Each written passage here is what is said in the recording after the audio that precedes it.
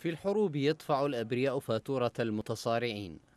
ها هي مدينة الموصل شاهدة على حجم الفاتورة. مصابون بالآلاف فقدوا أطرافهم من ساق وذراع وظلوا على هذه الحالة دون رعاية طبية إلا من عمل قليل يقوم به معمل إنتاج الأطراف الصناعية الذي شيدته منظمة الصليب الأحمر الدولية. تأسس هذا المعمل بمبادرة طيبة من منظمة الصليب الأحمر الدولية.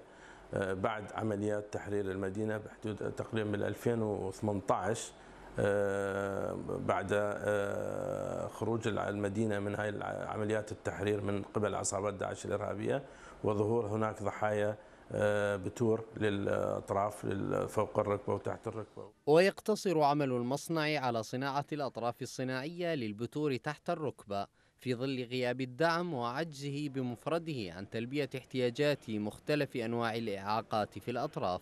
فإحنا حبذا لو نحصل على دعم سواء من المحافظة أو من الحكومة المركزية لدعم وتوسيع المعمل لكي ينتج الأطراف خصوصا أنه المدينة خارجة من عمليات حربية كانت قاسية على المدينة.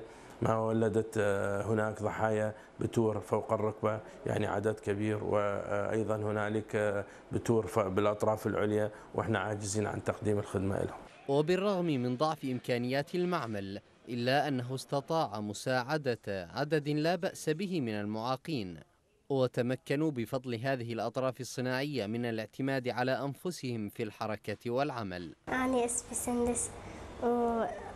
وكنا بالتحرير وطلعت طلعنا من بيتنا فتت على بيت وكان كان بي لقم ودسته وطقت علي الأبوة.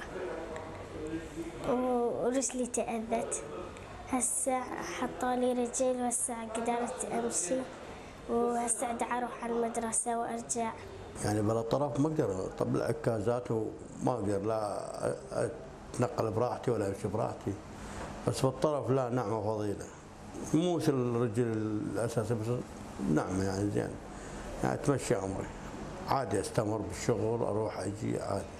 والله هذا الطرف أنطوني خلف الله عليهم. يعني أقدر أمشي به منين؟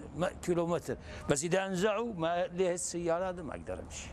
لكن كارثة مثل التي حلت بالموصل تحتاج إلى جهود كبيرة وعمل مكثف وميزانيات هائلة لإنقاذ المصابين. وليس الاعتماد فقط على المبادرات الفردية من بعض المنظمات الدولية.